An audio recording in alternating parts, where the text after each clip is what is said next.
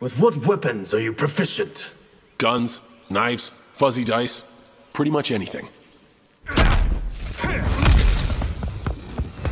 Jesus! What the hell? I would have given my right arm to be raised by badass ninjas. The Lin Kuei are not ninjas.